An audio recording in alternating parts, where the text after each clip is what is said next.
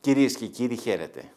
Αέρας Αλεξανδρινός θα φυσήξει σήμερα στην εκπομπή μας, αφού η καλεσμένη μας γεννήθηκε στην Αλεξάνδρεια της Αιγύπτου, στην ε, πάλι ποτέ μεγάλη ελληνική κοινότητα που υπήρξε εκεί.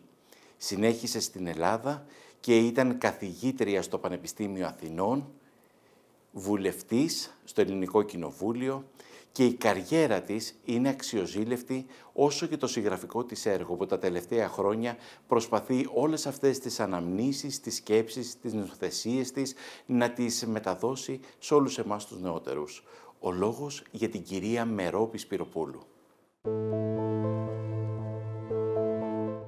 Η κυρία Μερόπης Σπυροπούλου γεννήθηκε και μεγάλωσε στην Αλεξάνδρεια της Αιγύπτου. Αποφύτησε από το Αβερόφιο Γυμνάσιο Θηλαίων και σπούδασε οδοντιατρική στα Πανεπιστήμια Αλεξανδρίας και Αθηνών. Το 1972 αναγορεύτηκε διδάκτορ της οδοντιατρικής του Πανεπιστημίου Αθηνών. Το 1976, μετά από μεταπτυχιακές σπουδές στο Πανεπιστήμιο του Μίτσιγκαν των Ηνωμένων Πολιτειών της Αμερικής, απέκτησε ειδικότητα και Master of Science στην Ορθοδοτική. Το 1980 εξελέγει τακτική καθηγήτρια και διευθύντρια της έδρας της Ορθοδοτικής στο Πανεπιστήμιο Αθηνών, όπου υπηρέτησε επί 26 χρόνια. Έχει προσκληθεί και διδάξει σε πανεπιστήμια της Αμερικής και της Ευρώπης και διετέλεσε επισκέπτρια πανεπιστήμια πολλών πανεπιστημίων ανά τον κόσμο. Για το επιστημονικό, ερευνητικό και ακαδημαϊκό της έργο έχει τιμηθεί με πολλές διεθνείς και ελληνικές επιστημονικές διακρίσεις. Συγχρόνως, με την επιστημονική της δραστηριότητα έχει επιδείξει και ιδιαίτερο ενδιαφέρον για τα κοινά. Έχει διατελέσει βουλευτής επικρατείας. Είναι μέλος πολλών πολιτιστικών οργανώσεων και μέλος των διοικητικών συμβουλίων της φιλεκπαιδευτικής εταιρείας στο Αρσάκια Σχολεία, του Ομίλου Φίλων Βιβλιοθήκης Αλεξάνδρειας και της Εθνικής Εταιρείας των Ελλήνων Λογοτεχνών έχει δώσει περισσότερες από 600 διαλέξεις σε πολλές πόλεις της Ελλάδας ως προσκεκλημένη ομιλήτρια διαφόρων πολιτιστικών σωματείων. Διδάσκει σε σχολές γονέων και αρθρογραφεί σε διάφορα έντυπα για θέματα παιδείας, υγείας και κοινωνικού προβληματισμού. Έχουν εκδοθεί 13 μη επιστημονικά της βιβλία. Είναι παντρεμένη με τον ομότιμο καθηγητή του Πανεπιστημίου Αθηνών Νίκο Σπυρόπουλο, έχουν δύο γιους και ένα εγγονό. Η κυρία Μερόπης Σπυροπούλου είναι σήμερα μαζί μας για μια δική της κατάθεση ψυχής, για τη δική της διαδρομή, για τις δικής της ψυχής τα μυστικά.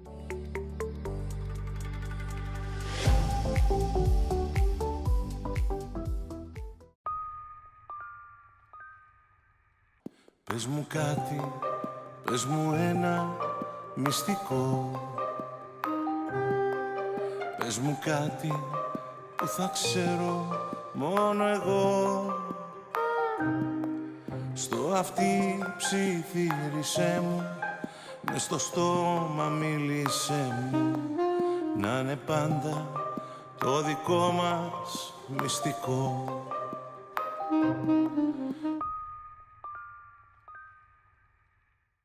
Καλώς ορίσατε. Σας ευχαριστώ πολύ Σεβασμιότατε. Είναι μεγάλη τιμή μου που θελήσατε να μιλήσουμε. Είναι δικιά μου χαρά και τιμή, γιατί η δική σας ζωή έχει μια υπέροχη διαδρομή. Και όταν λέω υπέροχη δεν είναι μόνο για τις καλές μέρες, αλλά και για τις μέρες που ήταν λιγότερο καλές, αλλά όμως μέσα από τα γραφόμενά σας και τα λεγόμενά σας δείχνουν μια υπέροχη νοσταλγία, που όλη αυτή είναι καθαρά διδακτική για όλους εμάς τους νεότερους. Σας ευχαριστώ. Ε, με τη βοήθεια του Θεού η Θεία Πρόνοια μας αξίωσε, τον άντρα μου και μένα, να έχουμε μια κοινή διαδρομή 62 χρόνων. Τι ευλογία. Ευλογία πραγματικά, όπου βεβαίως όπως πολύ σωστά είπατε υπήρχαν οι δυσκολίες, υπήρχαν τα προβλήματα, αλλά πάντα με τη βοήθεια του Θεού και με την ε, αλληλοϊποστήριξη τα ξεπερνούσαμε. Γεννηθήκατε σε έναν τόπο ο οποίος αποτέλεσε μία από τις μικρές καρδιές της Ελλάδας, την Αλεξάνδρεια. Αλεξάνδρεια. Διότι όλοι αυτοί οι τόποι που ήταν εκτός της Μητροπολιτικής Ελλάδας ήταν μικρές καρδιές.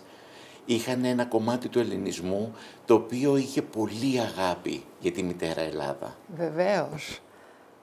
Όχι αγάπη, τι να πω, μια πνευματική επικοινωνία καθημερινή.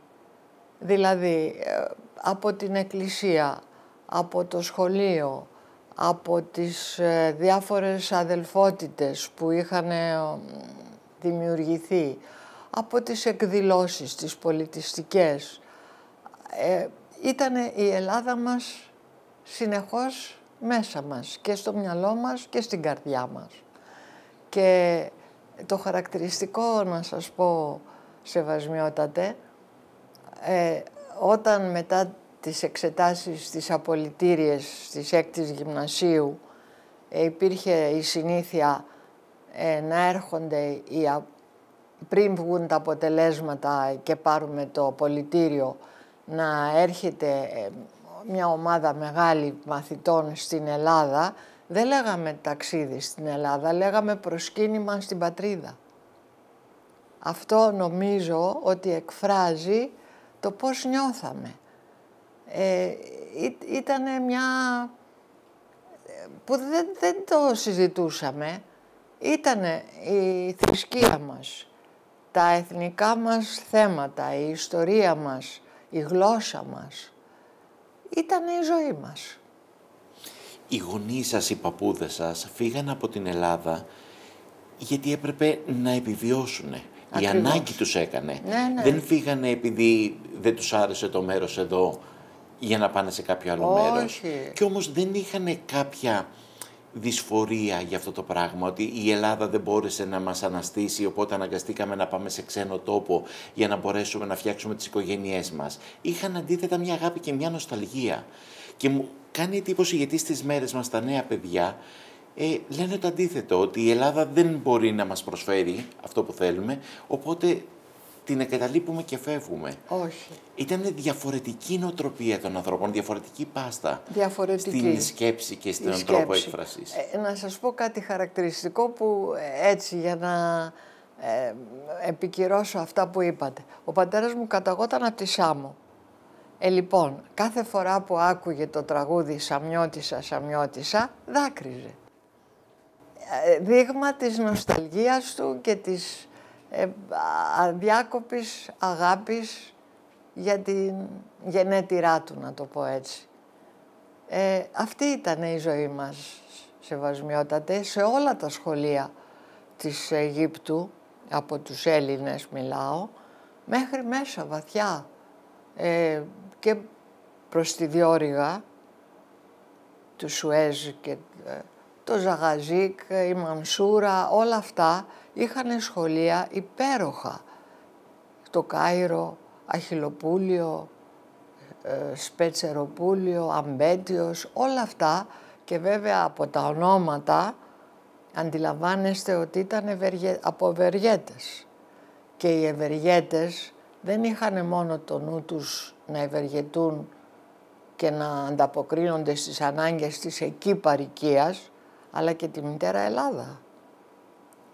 Ε, Να μην ξεχνάμε τον Αβέροφ, να μην ξεχνάμε τον Τοσίτσα, γενικώς να μην... Και να θυμηθούμε ότι οι λόγοι της εποχής ήταν οι Κωνσταντινοπολίτες και οι Αιγυπτιώτες. Συμφωνώ. Γιατί ξέραν τα καλύτερα γράμματα. Δεν ήταν τυχαίο ότι οι λόγοι της εποχής ήταν από αυτές τις περιοχές. Ναι, συμφωνώ σεβασμιότατα, έχετε δίκιο και βεβαίως, ε, ξέρετε, στο μυαλό μου έρχεται πάντα ένα ρητό που λέει «Δεν οφείλω επειδή μπορώ, δεν οφείλω όταν μπορώ, αλλά μπορώ πάντα επειδή οφείλω». Και οφείλουμε στην παιδεία μας, σε αυτά που μας δώσανε οι γονείς καταρχήν, γιατί η οικογένεια είναι η πρώτη πηγή παιδείας και αξιών, αλλά και οι εκπαιδευτικοί μας, οι δάσκαλοι εκεί στα σχολεία μας, οι καθηγητές μας, είναι αστήρευτη η ευγνωμοσύνη μας για αυτή την παιδεία. Πώς ήταν η ζωή στην Αίγυπτο τότε; Ε, Πολύ Διότι ωραία. νομίζω νιώθατε ότι ζείτε στην Ελλάδα. Δεν νομίζω ότι νιώθατε ότι ζείτε σε διαφορετικό τόπο τότε. Όχι. Όλες οι περιγραφές τις οποίες γράφετε και στα βιβλία σας, αλλά και από αντίστοιχους ανθρώπους σαν και εσάς, δείχνουν ότι δεν ζούσατε κάτι διαφορετικό από Όχι. τα παιδιά που μεγαλώναν στην Ελλάδα. Έτσι, ακριβώς. Γιορτάζαμε τις εθνικές μας γιορτές, ε, γιορτάζαμε την περιφορά του επιταφείου τη Μεγάλη Παρασκευή και οι Αιγύπτιοι χο- χωροφύλακες και αστιφύλακες σε στάση προσοχής για να είναι άδειοι οι δρόμοι να, περνάνε, να περνάει η ε, περιφορά. Ε, τι να σας πω, γενικώς οι εκδηλώσεις μας, τα γλέντια, ε, ήταν Ελλάδα. Αυτά. Δεν μπορώ να σκεφτώ κάτι άλλο. Η συναναστροφή με τους Αιγύπτιους; Ήτανε καλή. Καταρχήν οι Αιγύπτιοι έχουν... Γιατί οι γειτονιές ήταν ενωμένες. Ναι, ναι. Στο γειτονικό σπίτι ήταν κάποιος από την Αίγυπτο, ε, κάποιος άλλος ξένος. Ε, δηλαδή ναι. δεν ήταν ξεχωριστές οι συνοικίες; Όχι. Η, η αλήθεια είναι ότι μερικές συνοικίες ήταν σαφώς Αιγυπτιακές. Οι αραβικές συνοικίες τις λέγαμε. Άλλες συνοικίες ήταν σαφώς ελληνικές. Παραδείγματος χάρη στην Αλεξάνδρεια ήταν η περίφημη Ιμπραημία που, που τη λέγαμε τότε γελώντας η κοκκινιά της Αλεξάνδρειας. Ε, αλλά στις, στις κοινωνικές εκδηλώσεις υπήρχε μια καλή σχέση. Εγώ που, που έζησα και τα φοιτητικά μου χρόνια στο Πανεπιστήμιο εκεί της Αλεξανδρίας, το οποίο βεβαίως ήταν αγγλόφωνο, αλλά οι συμφοιτητές μας ήταν Αιγύπτιοι. Και βέβαια, και αυτό πρέπει να το πω, από το σχολείο μας λέγανε ε, μην αρχίζετε συζητήσεις για θρησκευτικά ή πολιτικά θέματα. Δεν χρειάζεται να εμπλέκεστε σε τέτοιες συζητήσεις. Και όντως, είχαμε τόσα άλλα θέματα να συζητήσουμε, δεν το επιδιώκαμε να αρχίσουμε τέτοιες συζητήσεις. Οι κόπτες βέβαια, οι χριστιανοί, ε, είχαν πάρα πολύ μεγάλη ε, συγγένεια, να το πω έτσι, πνευματική με τους Ορθοδόξους. Και εντάξει, υπήρχαν και γείτονες που είχαν αυτές τις θρησκείες. Δεν, δεν αισθανόμασταν ξένοι. Αλήθεια σας λέω, σεβασμιότατε. Ήτανε όλα ελληνικά. Παντού έβλεπες ελληνικές επιγραφές, ο ναυτικός όμιλος, ο ελληνικός ναυτικός όμιλος ε, φιλοξενούσε τους πάντες. Οι εποχές και τότε δεν ήταν εύκολες, αλλά υπήρχε δυνατότητα να επισκεφτείτε την Ελλάδα σαν Βέβαια. μαθητές. Βέβαια, υπήρχε δυνατότητα. Ε, οικογενειακώς ερχόμασταν, αλλά η, η πιο σημαντική επίσκεψη θα έλεγα ήταν το προσκύνημα στην πατρίδα που σας είπα, γιατί αυτό εμπεριείχε ε, τα, ξέρετε, τα πιο σημαντικά. Πήγαμε στην Ολυμπία, πήγαμε στους Δελφούς, στην Ακρόπολη βέβαια, αλλά θέλω να σας διηγηθώ, σεβασμιότατε, τη δική μου προσωπική εμπειρία όταν ήρθαμε για το προσκύνημα στην πατρίδα. Μας συνόδευε μια υπέροχη φιλόλογος, η αείμνηστη Διονυσία Τζιράνη, η οποία μας είπε όταν φτάσαμε στον Πειραιά, μας περίμενε ο, ο τότε επιθεωρητής σχολών Αλοδαπής, ο Γεώργιος Ατσαβές και μας, το 1955 μιλάμε. Μας περίμεναν κάτι στρατιωτικά ε, καμιόνια και πήγαμε στο Μαρούσι όπου θα μας φιλοξενούσαν εκεί στα σχολεία Αμαρουσίου, τις 15 μέρες που θα μέναμε. Μας είπε λοιπόν η φιλόλογος μας, ε, άντε να ξεκουραστείτε και αύριο το πρωί θα φορέσετε τα άσπρα σας και μετά το πρωινό θα πάμε για να αρχίσουμε το προσκύνημα στην πατρίδα μας με ένα χρέος. Εντάξει, δεν ξέραμε τι εννοούσε, αλλά ναι, προσευχή, πρωινό Μπαίνουμε πάλι στα αυτοκίνητα αυτά και το χρέος ήταν κατάθεση Στεφάνου στο μνημείο του αγνώστου στρατιώτη. Η πρώτη μαθήτρια της τάξεως κρατούσε το στεφάνι, πίσω της δύο παραστάτηδες και όλες οι υπόλοιπες εφενός ζυγούς σε δύο γραμμές πίσω. Καταθέτει το στεφάνι, έρχεται πίσω στη θέση της και βλέπουμε τη φιλόλογό μας που στεκόταν λίγο πιο πέρα να γονατίζει. Και γονατίσαμε όλες, σεβασμιότατε, μπροστά στο μνημείο του αγνώστου στρατιώτη. Αυτό ήταν το πρώτο μας χρέος σε αυτές τις δύο εβδομάδες που ήρθαμε για προσκύνημα στην πατρίδα. Υπέροχες αναμνήσεις. Υπέροχες. Και είναι αναμνήσεις που τώρα τα παιδιά μας δεν μπορούν να τις έχουν γιατί η παιδεία μας, και αυτό θέλω να το ρωτήσω, η παιδεία μας σήμερα εμπνέει σεβασμό, μας μαθαίνει αξίες ή απλά μας μαθαίνει γνώσεις; Αυτό είναι και δικό μου ερώτημα, σεβασμιότατε. Πιστεύω ότι ε, εάν δεν το κάνει η οικογένεια αυτό, πρέπει να το κάνει η παιδεία. Πρέπει δηλαδή η εκπαίδευση να εμπεριέχει στοιχεία τέτοια. Αλλά δεν ξέρω, δεν έχω την εμπειρία να σας πω αν συμβαίνει ή δεν συμβαίνει. Ίσως κάποιοι διδάσκοντες να το κάνουν. Αλλά εγώ δεν το, δεν το ξέρω.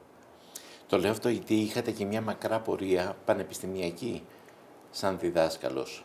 Ναι. Και θα φτάσουμε και εκεί, διότι πηγαίνετε στο πανεπιστήμιο, σπουδάζετε το διατρική, αν και τα όνειρά σας ήταν φιλόλογος. Αυτό ναι, είναι αλήθεια. Αλλά δεν υπήρχε πιθανότητα στην Αίγυπτο, στην Αλεξάνδρεια να σπουδάσω ελληνική φιλολογία. Ε, και ο πατέρας μου προτίμησε να ακολουθήσω ένα επάγγελμα που θα μπορούσα να το ασκήσω και μέσα στο σπίτι για να ε, έχω και την οικογενειακή, να το πω έτσι, ευχέρεια. Ε, και τελικά δεν το μετάνιωσα γιατί είναι ωραίο επάγγελμα η οδοντιατρική, είναι ωραίο λειτουργήμα θα έλεγα και φυσικά το λειτουργήμα του δασκάλου σε οποιαδήποτε βαθμίδα είναι πιστεύω ένα υπέροχο λειτουργήμα, σεβασμιότατε. Γιατί ο δάσκαλος δεν μεταδίδει μόνο γνώσεις. Με, πρέπει να μεταδίδει αξίες και ποιότητα ζωής. Γιατί με αυτές τις αξίες γινόμαστε σωστοί άνθρωποι. Ο αείμνηστος ο Κώστας Τσιρόπουλος, ο συγγραφέας που έβγαζε για χρόνια το περιοδικό Ευθύνη, είχε εισαγάγει έναν όρο που μου άρεσε πάρα πολύ όταν τον άκουσα. Η παιδεία, λέει, είναι το πεδίο όπου καλλιεργείται η ανθρωποσύνη. Κατά το καλοσύνη, δικαιοσύνη, εμπιστοσύνη, η ανθρωποσύνη. Είναι δηλαδή τα χαρακτηριστικά που κάνουν τον άνθρωπο άνθρωπο. Τι όμορφο. Αυτά. Οι πολιτικές καταστάσεις ανάγκασαν αυτό το κομμάτι του ελληνισμού να ξεριζωθεί Ναι. από την Αίγυπτο. Η προσαρμογή στην Ελλάδα πόσο εύκολη ήτανε; Δεν ήταν εύκολη, σεβασμιότατε. Ε, Γιατί ήταν πάλι εξ αρχής. ναι, αλλά υπήρχε η, η ευλογία των γνώσεων ξένων γλωσσών που τότε στην Ελλάδα δεν ήταν πολύ συνηθισμένο πράγμα ενώ εμείς στα σχολεία μας υποχρεωτικά μαθαίναμε γαλλικά, αγγλικά και αραβικά. Και φυσικά αυτοί που ερχόντουσαν εδώ, έχοντας αυτή την πρίκα, επιτρέψτε μου να πω, βρίσκανε εργασίες, αλλά όχι πάρα πολύ εύκολα και ήθελε κόπο και υπομονή, να το πω έτσι, ώσπου να αναγνωριστεί η προσφορά που μπορούσαν να κάνουν. Αλλά εντάξει, προχωρήσανε. Εγώ στο πανεπιστήμιο έπρεπε να, φοι, να φοιτήσω άλλον ένα χρόνο για να πάρω το ελληνικό πτυχίο και να έχω άδεια ασκήσεως επαγγέλματος και από εκεί ξεκινήσανε πάρα πολλά καλά. Στο Πανεπιστήμιο οι διαφορές με την Αλεξάνδρεια φύγατε από ένα κοσμοπολίτικο μέρος, όπως ήταν η Αλεξάνδρεια, και ήρθατε σε μια Αθήνα μετά τον πόλεμο που προσπαθούσε να ανανύψει από τις πληγές του πολέμου και να μπορέσει να μπει σε μια τροχιά ανάπτυξης. Πώς ήταν η διαφορά; Ήτανε μεγάλη διαφορά, όχι σε επίπεδο γνώσεων, γιατί οι καθηγητές μας ήταν πολύ καλοί και εδώ, αλλά σε επίπεδο κοσμοπολίτικης ατμόσφαιρας, όπως το λέτε. Ε, βεβαίως και τα οικονομικά ήταν πολύ σφιχτά, αρκεί να σας πω ότι το λέει πολλές φορές ο άνδρας μου και γελάμε από την πλατεία Κάνιγκος που ήταν εκεί στη Χαλκοκονδύλη ήταν η οδοντιατρική σχολή, η παλιά, πριν γίνει αυτή η καινούρια η υπέροχη που είναι στο Γουδί. Για να πάμε στο Χολαργό που ήταν το πατρικό σπίτι του συζύγου μου, του συμφιτητού μου τότε, ε, μετρούσαμε τα χρήματα που είχαμε, θα πάρουμε κουλούρι με τυρί ή θα πάρουμε λεωφορείο. Λοιπόν, και τελικώς με τα πόδια. Δύο ώρες και ένα τέταρτο. Αλλά εντάξει, τα παλεύαμε όλα. Με τη βοήθεια του Θεού είχαμε όνειρα, είχαμε ελπίδα, είχαμε αισιοδοξία.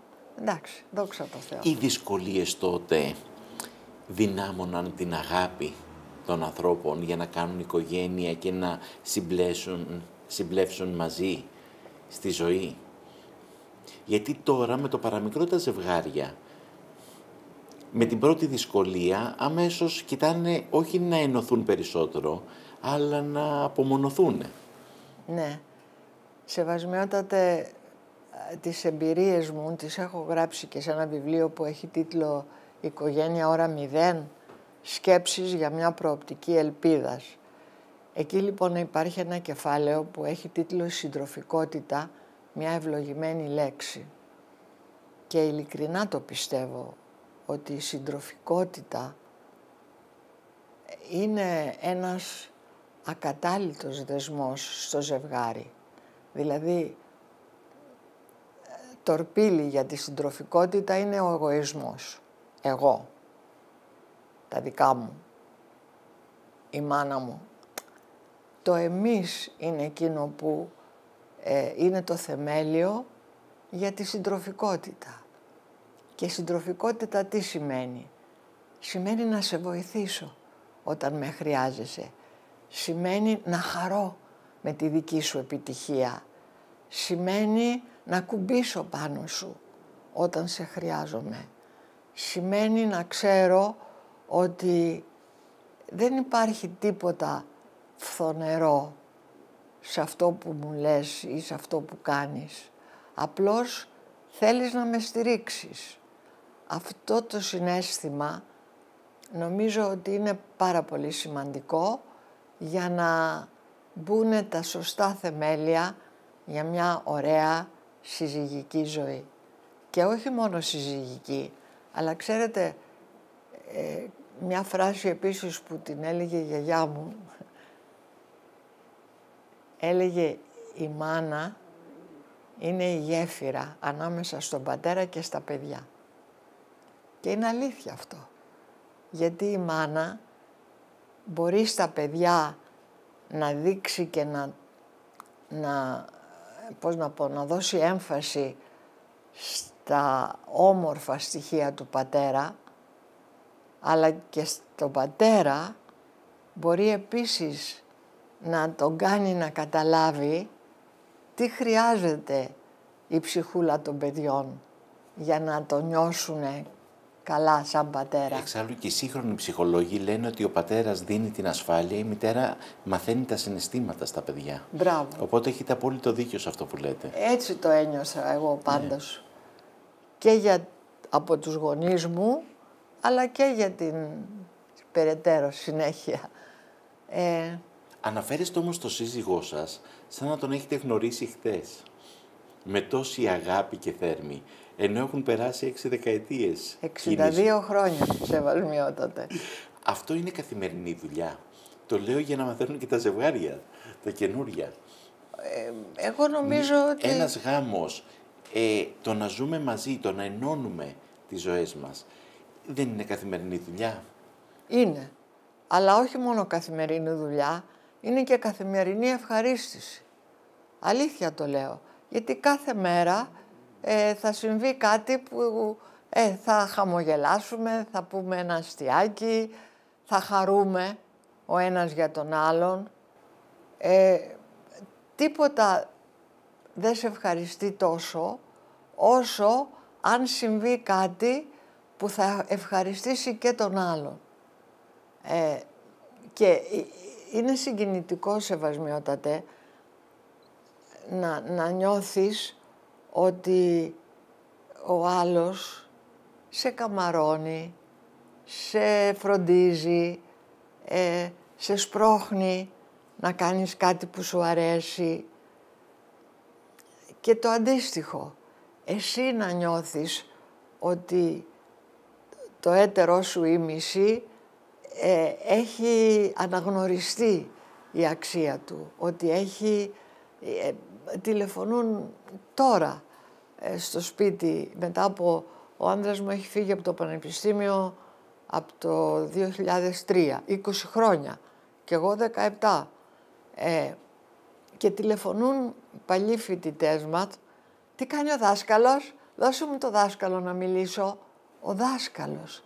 Αυτό ε, εμένα μου δίνει πάρα πολύ μεγάλη χαρά το ότι τον θυμούνται έτσι και θυμούνται τι τους έλεγε. Να σας πω ένα χαρακτηριστικό. Στην κλινική που διεύθυνε ο άντρας μου, που ήταν καθηγητής της διαγνωστικής και ακτινολογίας του στόματος, σαν εμβληματική, να το πω έτσι, φράση, είχε αυτή που λέει κάθε ιατρική πράξη είναι η συνεργασία μιας εμπιστοσύνης και μιας συνείδησης. Εμπιστοσύνη του ασθενούς και συνείδηση του γιατρού. Ε, αυτό ξέρετε πόσοι μαθητές, παλιοί φοιτητές μας το θυμούνται, έτσι έλεγε ο δάσκαλος. Αυτό είναι και στην οικογένεια. Δηλαδή, τι θα πει η μάνα για τον πατέρα, τι θα πει ο πατέρας για τη μάνα, στα παιδιά, περνάει σαν βίωμα που μένει για, για όλη τη ζωή. Δεν ξεπερνιέται. Ο θαυμασμός μπορεί να παραμείνει σε ένα ζευγάρι, σε μια οικογένεια μεταξύ των γονιών, μεταξύ του ζευγαριού. Ε, ο θαυμασμός για το χαρακτήρα, για την... Μιλάτε με πολύ θαυμασμό για το σύζυγό σας.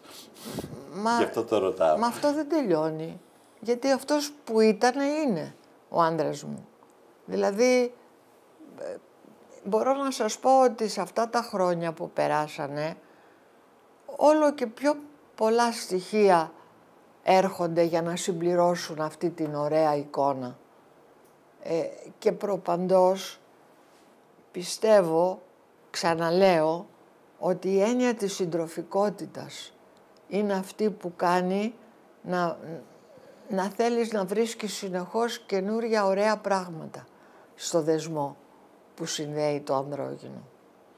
Στο τελευταίο σας βιβλίο, το «Χαμόγελο», από τις εκδόσεις Αρχονταρίκη, αναφέρετε τη σημαντικότητα, πόσο σημαντικό είναι να προβάλλουμε κάτι καλό και να μπορούμε να χαμογελάμε με όλες τις δυσκολίες. Όταν ζούμε σε μια εποχή που λίγα πράγματα μας επιτρέπουν να χαμογελάσουμε. Πώς μπορούμε να το πετύχουμε αυτό; Ε, λίγα πράγματα, όπως λέτε σεβασμιότατε σωστά, μας επιτρέπουν να χαμογελάσουμε, αλλά έχω την εντύπωση ότι παραβλέπουμε και αυτά που αξίζει να μας κάνουν να χαμογελάσουμε.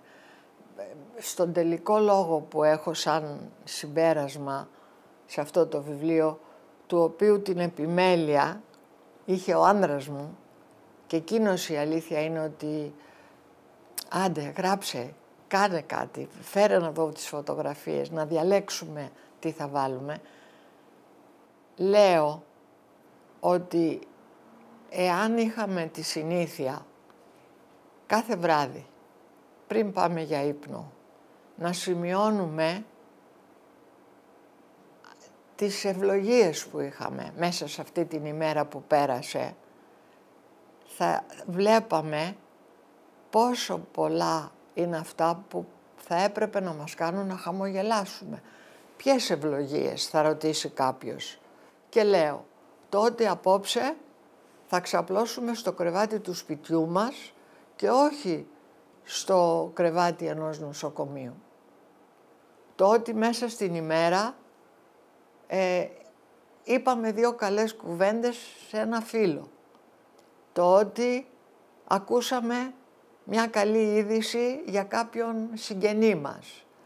Το ότι ε, εισπράξαμε ένα χαμόγελο από ε, μια πολίτρια, από ένα μαγαζί. Αυτά δεν είναι αστεία. Είναι πάρα πολλοί άνθρωποι που τα στερούνται. Εμείς που τα έχουμε τα θεωρούμε δεδομένα και δεν χαμογελάμε γι' αυτά. Ενώ, όπως λέτε, συμβαίνουν πράγματα που μας στενοχωρούν, που μας κάνουν να, να θλιβόμαστε, να ανησυχούμε. Συμφωνώ. Αλλά ας δούμε και την άλλη όψη και αυτά που έχουμε. Δηλαδή, λέω συγκριτικά, ας σκεφτούμε αυτούς τους ανθρώπους τι συμφορά πάθανε με τις πλημμύρες, ενώ εμείς είμαστε στο ωραίο μας σπίτι. Δεν έχουμε πρόβλημα να στεγνώσουμε τα πράγματά μας, ας πούμε, ή που θα κοιμηθούμε απόψε. Δεν πρέπει εμείς να λέμε ευχαριστώ και να χαμογελάμε γι' αυτό. Γιατί το χαμόγελο, σεβασμιότατε, είναι ένα δώρο που έκανε ο Θεός στον άνθρωπο. Τα ζώα δεν χαμογελάνε.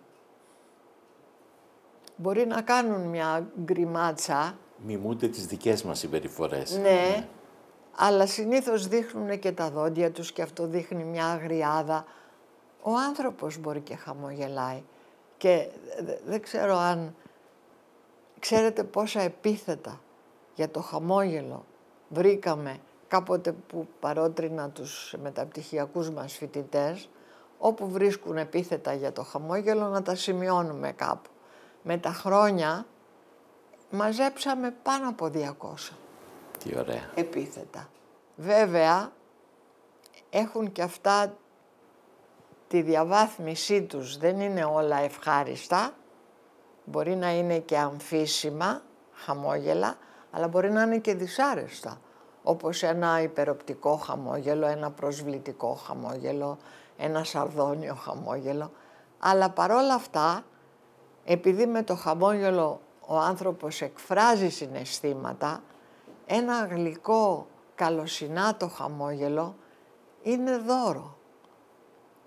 Και είναι κάτι που δεν στοιχίζει τίποτα να το δώσουμε. Έτσι δεν είναι; Έτσι ακριβώς. Και γι' αυτό ο υπότιτλος σε αυτό το βιβλίο είναι «Άειλη γέφυρα» προς τον απέναντι και διεθνής γλώσσα. Σε όλα τα κράτη του κόσμου, όποιες γλώσσες κι αν μιλούν, με την ίδια γλώσσα χαμογελούν. Το χαμόγελο εκφράζει την ίδια γλώσσα. Έτσι δεν είναι σεβασμιότατε. Γι' αυτό λέω ότι ας, ας χαμογελάμε. Κάνει καλό. Και, και στον απέναντι, αλλά και σε εμάς τους ίδιους. Γιατί ένα δικό μας καλό χαμόγελο θα φέρει πίσω ένα άλλο. Συμφωνείτε; Απόλυτα.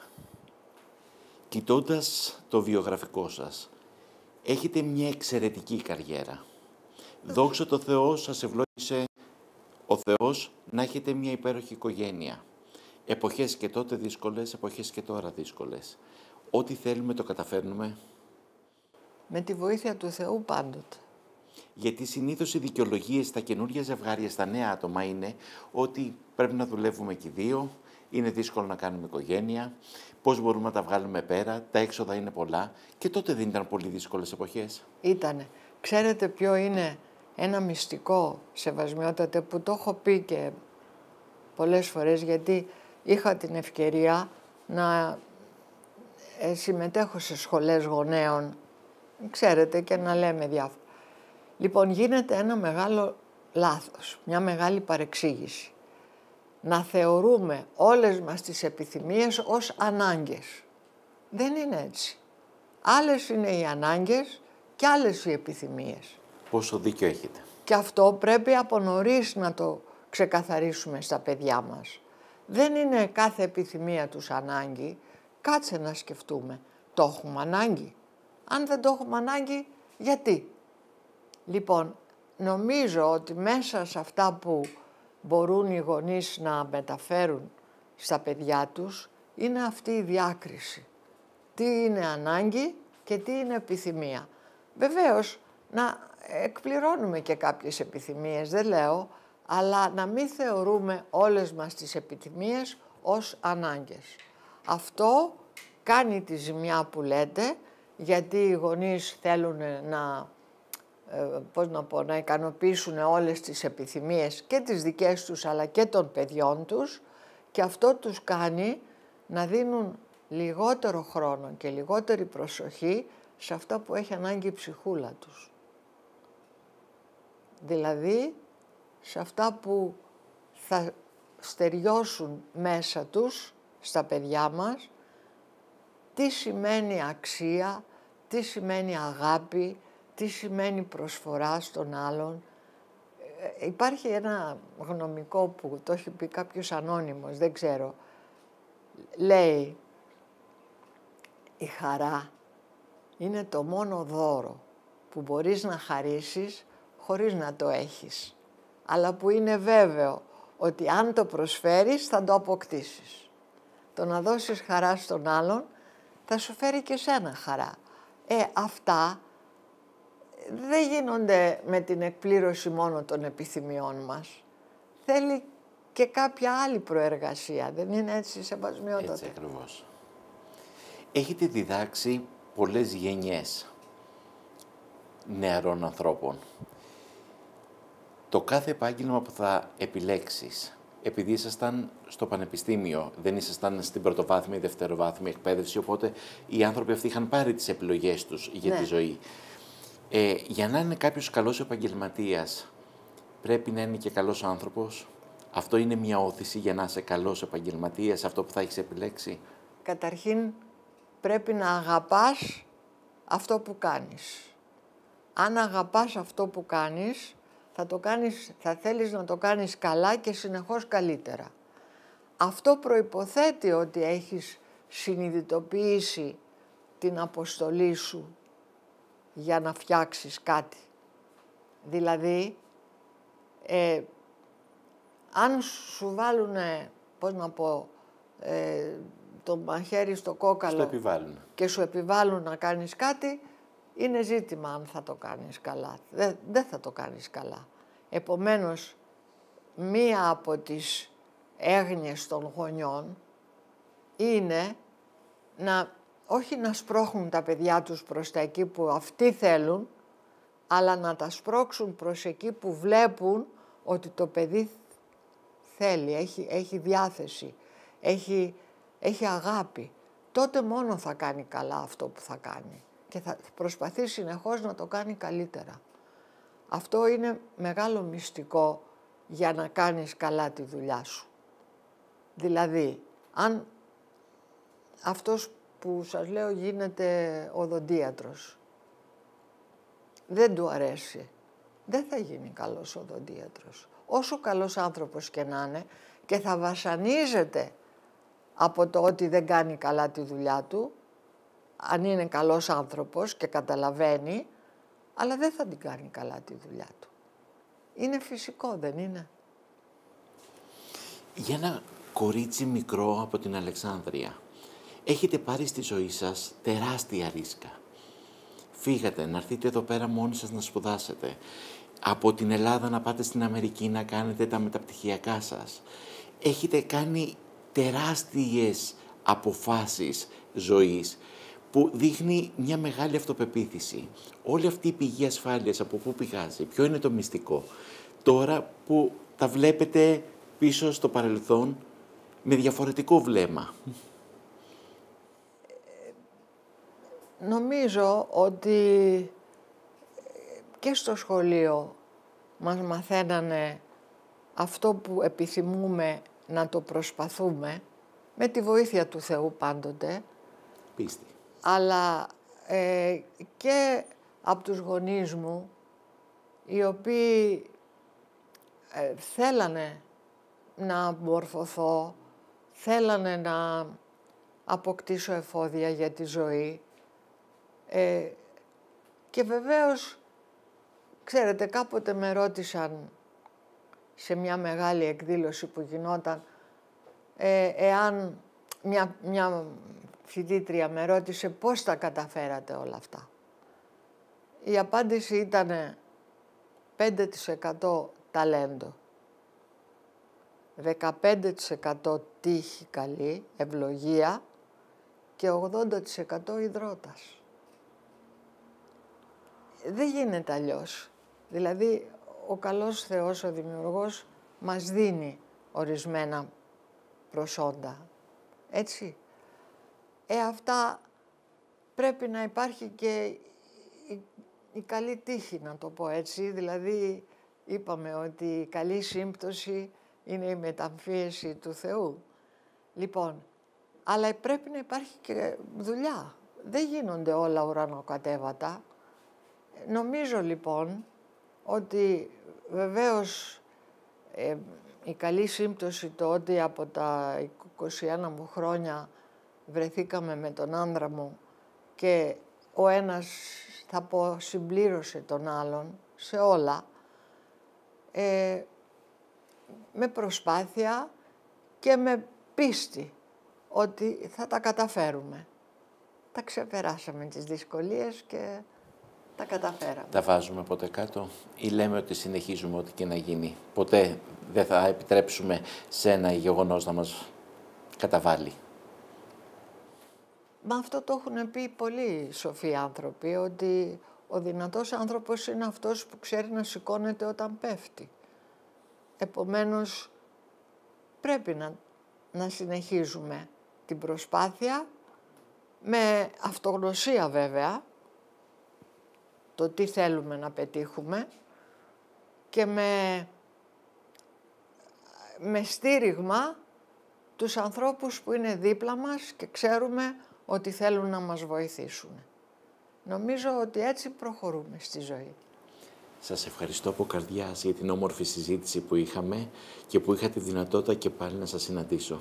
Σας ευχαριστώ πάρα πολύ και εγώ. Με τιμήσατε με αυτή την πρόσκληση σήμερα και ζητώ την ευλογία σας, Σεβασμιότατα. Την ευχή του Χριστού και της Παναγίας, το χαμόγελό σας και η αισιοδοξία σας δίνει χαρά σε όλους μας και σας ευχαριστούμε γιατί αν και θέλετε να γίνετε φιλόλογος με τον τρόπο σας μέσα από το συγγραφικό σας έργο έχετε κάνει και αυτήν την καριέρα εκτός από την οδοντιατρική.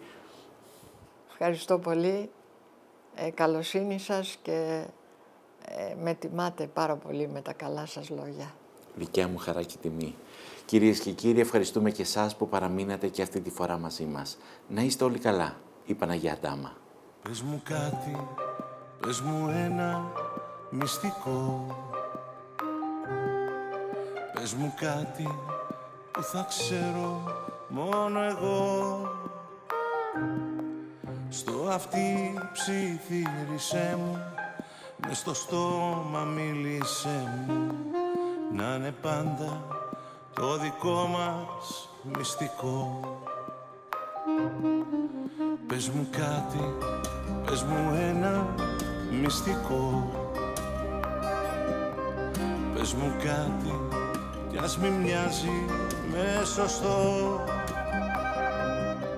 Στις σκιές σου να μιλήσω κι όλα πίσω να τα αφήσω. Να είναι πάντα το δικό μας μυστικό